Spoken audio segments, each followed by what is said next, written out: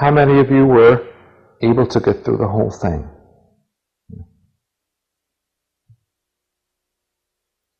I clean up some of the mess you made, the sand and the water dripped.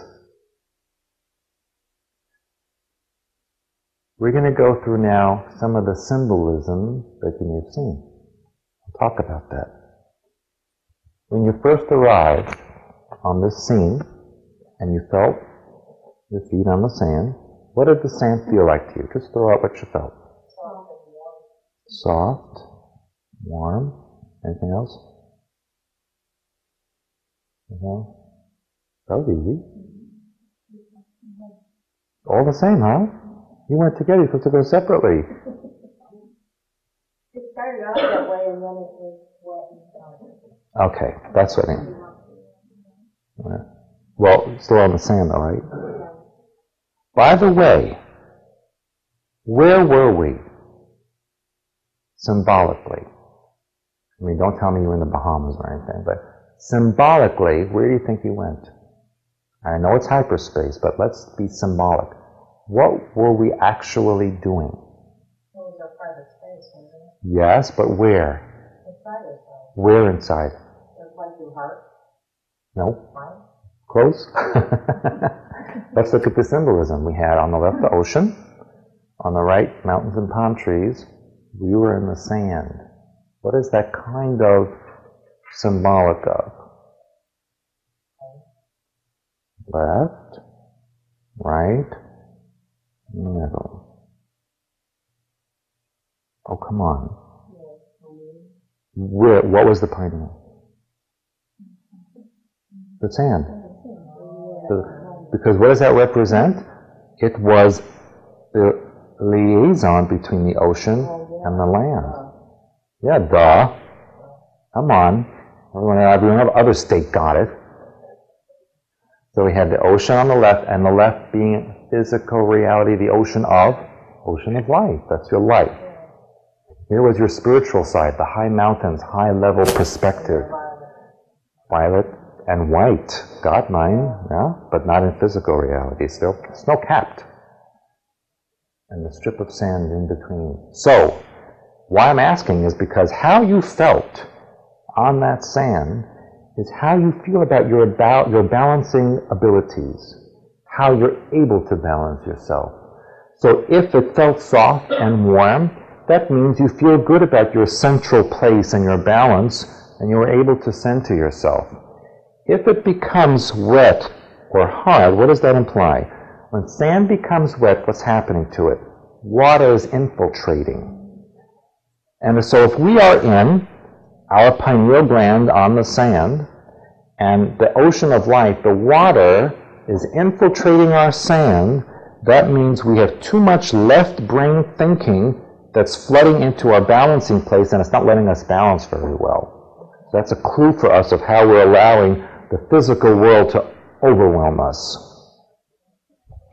If we find the sand very hard, then we find balancing difficult. It's hard for us to balance. So we need to work on that more. And we need to be very honest about this because there's no judgment. It's just a statement of how we are feeling and acting right now and being. So, as far as the ocean, when you looked at the ocean, what did the ocean look like to you? What color? What texture? Light blue Light blue? light blue. Okay.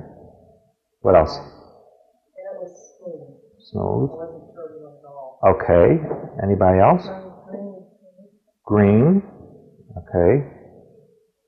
Anybody else? Silver. That's I've heard that before. Silver. Anybody else? How anybody have waves or anything like that? Or sharks? Uh, on. Once someone told me they had a shark in there. No? Okay. What is this? It's a small class, so we have little limited adjectives.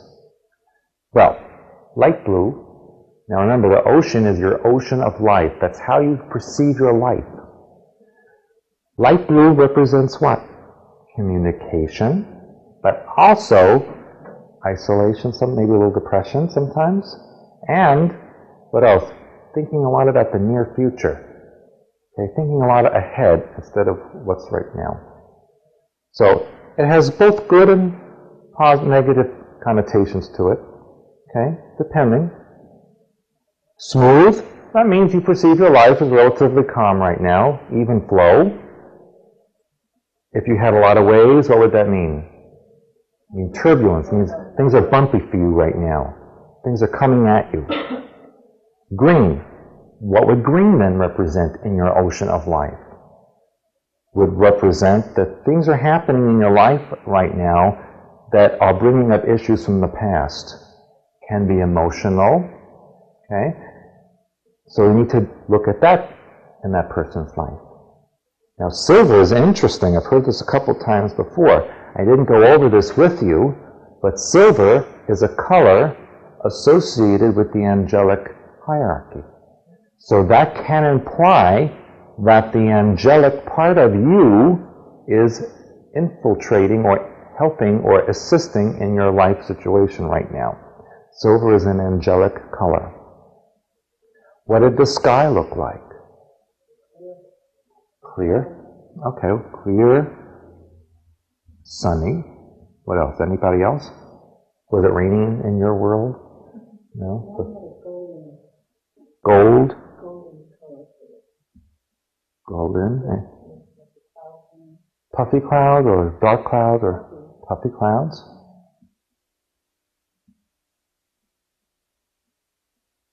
What else? Anybody else? The clear blue. But, uh,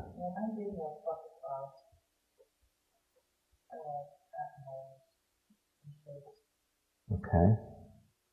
Okay. That's generally everything that then. So let's look at these symbols.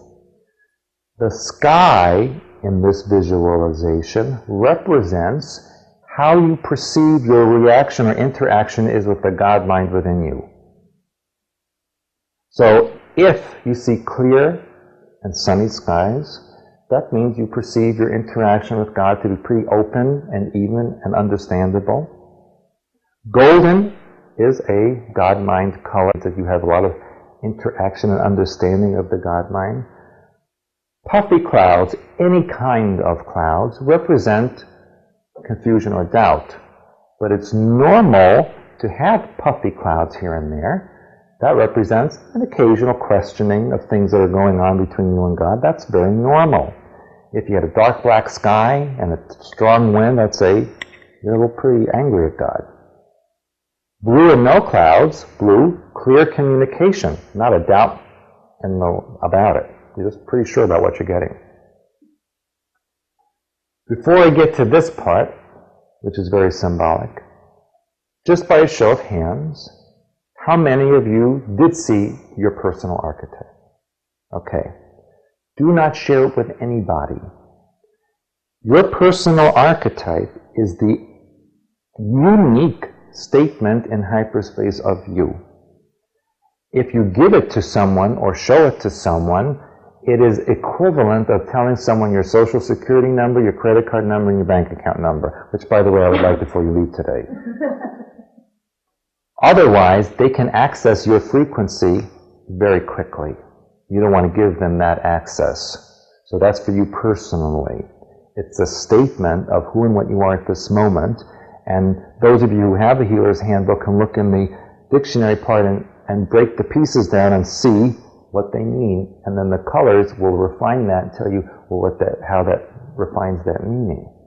So that's important to, to you to understand that. Also realize that that will change as your mind pattern changes. As you learn and experience different things and grow, that will shift, which is why it's so important that you do this exercise on your own